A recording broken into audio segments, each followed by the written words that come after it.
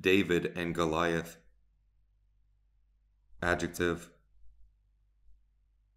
Used to describe a situation in which a small or weak person or organization tries to defeat another much larger or stronger opponent.